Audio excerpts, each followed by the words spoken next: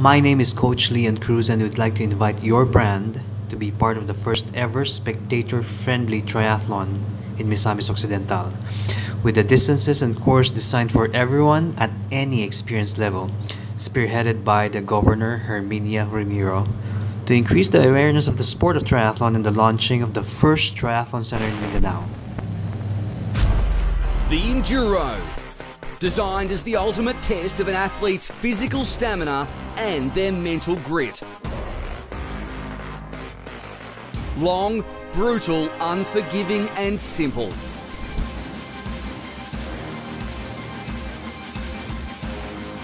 Swim, bike, run, okay, that seems fine, but then do it again, and then do it again. Three triathlons back to back to back. No room for rest, no room for error.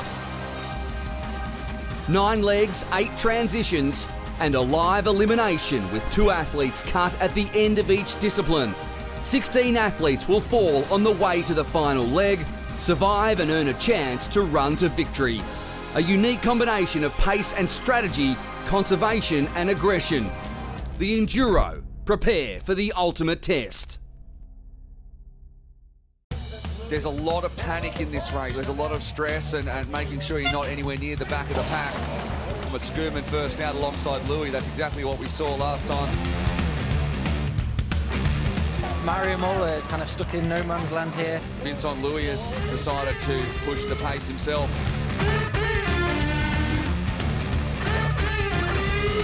Richard Murray right on the front with Henri Schoeman. And now Vincent Luis has taken his turn at the front. As and Felix is the one that's gone.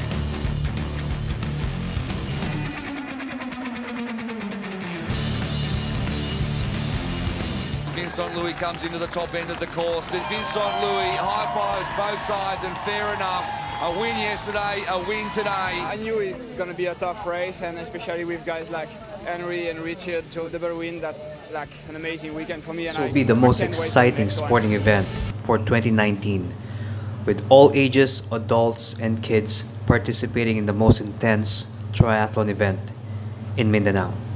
Time for the Enduro, a first in triathlon, and we are underway. A clean start in the women's race. Sophie Coldwell leads around the first turn. Cook and Zaferes, so two of the Americans and Australian behind.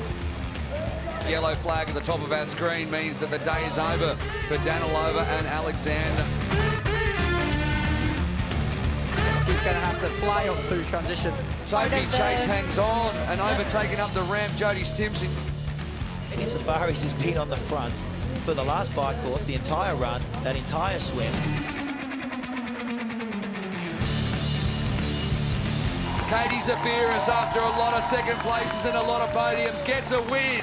Oh yeah, I mean, I'm super excited. It's definitely hard on the last lap. I could feel my legs start cramping up and I just tried to keep focus on the rhythm and uh, yeah, just get to the finish. See, when you got that passion, when you got that drive, when you're on a mission, you start to think that you can fight through anything. You can bust past any barrier. But the honest truth is, the honest truth is, you can't do it alone.